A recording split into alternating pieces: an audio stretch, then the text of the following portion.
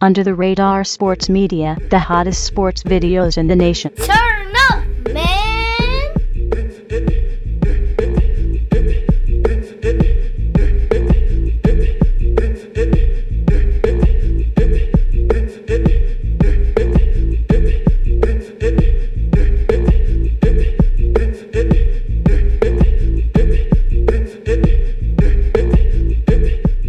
Terrence Johnson from Cienega in Arizona.